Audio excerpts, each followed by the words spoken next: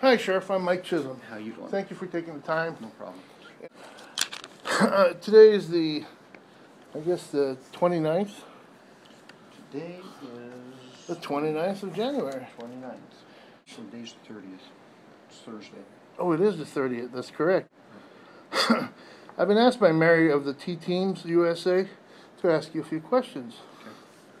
The first question is, what is your oath to the office of sheriff? My oath of office, the oath of office is to uphold the Constitution of the United States, the laws thereof, the Constitution of the State of Washington, and the laws thereof. I've actually even added a few things to the oath of office for the deputies, such as you'll abide by ethical standards, you'll abide by policy and procedures, and you'll make sure that we're running this agency in, in proper respect towards our constitutional duties. So that's how important the oath is. Sorry, do you, sir, have a yearly or biannual, um, like testing for the Constitution to ensure that your deputies and those that are below you are familiar with it? You know, in law enforcement, it's a daily change in situations. We have to keep up on every change that there is, every law change that gets thrown at us, every court decision that gets thrown at us. So it, we have quarterly training where once a year we talk about all the laws and, and how they affect the Constitution. So, um, but to be more specific, in law enforcement, it changed daily for us, and we have to make sure that we're up on each and every new change of interpretations of the laws that we enforce. I can understand that. I was a police officer in Oregon for a short period of time, and I know how fluid it can be. Next question from them, from the T team. And I'm from Hawaii, so if I don't enunciate my words correctly, forgive me. That's fine. I just and I just moved up here to Spokane in June.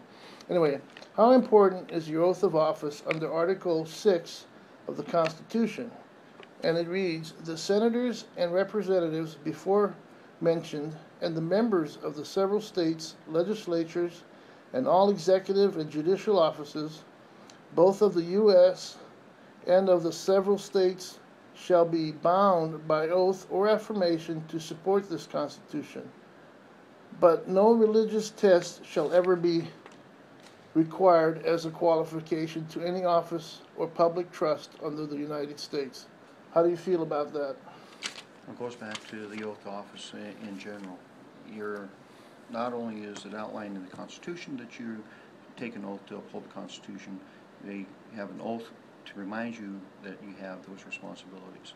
So, the Constitution is the basic framework, the, the, let's put it, the foundation on which everything in this country is to be driven by. This is a personal question, sir, and I didn't ask you this. Do you believe it was divinely written? I do. I, I believe that, uh, that there was uh, divine in- inspiration in that document. Some kind of intervention, no doubt. You bet, I do too. It, it's just a beautiful document. Next question from them, from the T team. What is your jurisdiction within the government?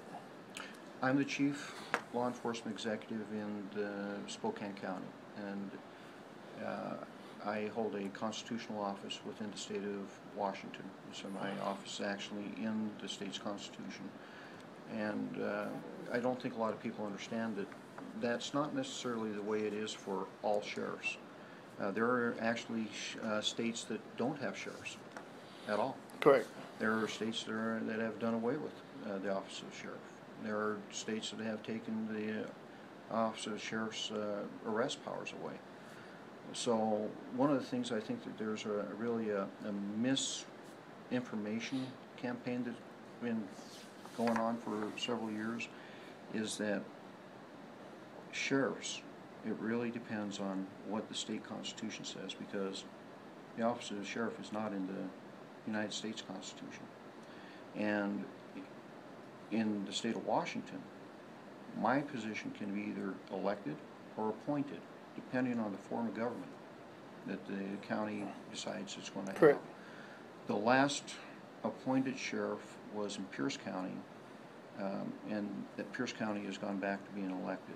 Uh, King County and Pierce County were at one point appointed. So the office of sheriff is really dictated by its state's constitution in the state that it resides. And aren't you coming up for an election next I year? am. Next question, sir. What happens when a situation you're involved, in, when you're involved in overlaps or is taken over by another agency, such as a federal agency? Are you allowed to monitor the situation, or can they just enter your county with no word for, word to you? When we're engaged in something um, within my county, I'm the chief law enforcement Yes. executive. Um, I, I will be there. I, I will be kept apprised of things. And there's no coming in and taking things over. It's uh, a partnership with everybody realizing that the sheriff is the, uh, the chief law enforcement executive in the, in the county. Mm, Final word. Final word, You are the final word. yes. Yes, you are. Uh, okay, a couple more questions left. Let's see. Have you ever been asked to enforce an action or law which was blatantly unconstitutional? Not once in twenty-four years of law enforcement duty have I ever had a, that situ- situation come across. Have you heard of any other sheriffs maybe having I've, a? I've never heard of anybody ever being, because if it's, if it's against law or it's unconstitutional, we can't do it. And I think that's where everybody comes up with, with some of the, the questions that, uh, they get asked. People need to understand, sheriff cannot do something that's un- unconstitutional. Correct, We would go, potentially could go to prison if we did that. correct. So, all the questions about what would you do if something unconstitutional, well, you can't do something unconstitutional. And if something unconstitutional was happening, your job is to prevent it and stop it. So, I think everybody just needs to understand that uh, you, the Constitution is the framework in which law enforcement resides. Law enforcement cannot go outside that framework.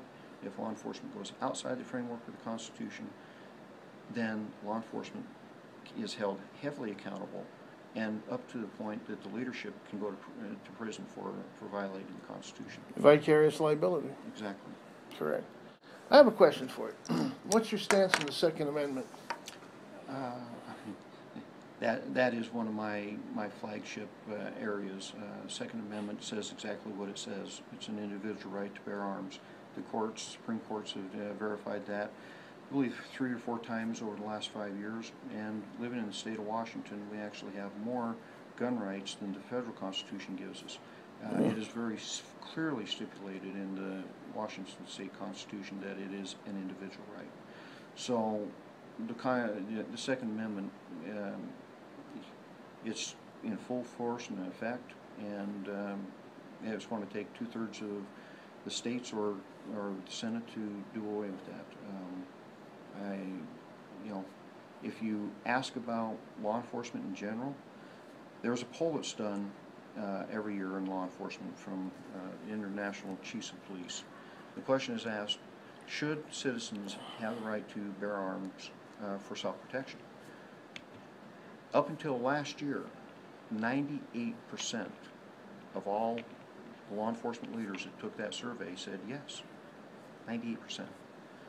Last year, uh, after Sandy Hook, that number went down to eighty-nine percent. So, you know, we have to make sure that we do everything in our power to protect our, our gun rights. We also need to make sure the government is really dealing with the true issues that are causing some of this gun violence, and that's the mental health issues in this country. If we do not start working to deal with the mental health issues that this country faces, we're going, we're going to be facing more and more of these deadly situations. A catastrophe. Exactly, and it, it doesn't have to be a gun. There are explosives and Yes. everything else. So I'm very much, and I push very hard for the mental health issues to be resolved. In my opinion, the United States has stepped away from that issue. The states have stepped away with that issue. They've kicked it down to the local level. Mhm. And that's why Spokane County Jail is the only jail in the state of Washington that is certified to deal with mental health issues. We, we saw the issue, and we're working to fix the issue. And it's not the gun isn't the problem. No, it's behavior. That's right. And, you know, quite frankly, I grew up in a a day and time where, at hunting season, there were guns in every gun rack in the high school parking lot. And the doors left open Exactly. while you went to class. And none of those guns were ever stolen. Yep, None of those guns ever came into the school and shot anybody. yep. What have we done as a society? And I get asked this often, Sheriff, how do you deal with, you know, what's the secret to, uh, you know, the violence and everything else? Take it back to the simple framework of life. If we teach each other, treat each other with respect, and teach certain core responsibilities and philosophies, values, such as do unto others, love one another, you're not gonna have that violence. You have to get back to the core values that made this nation great. And we've lost that. In many We, respects, we, we're we, we've lost the family element. We've lost trust amongst each other. Yes. Uh, just to acquire trust is, is a very arduous task. Yeah. That's why I miss the military. In the military, you had that bonding. I guess that'll be it, unless you have anything else to share. And I'm gonna give you one right now. I don't know, you've probably never heard of it before. Ten to ten.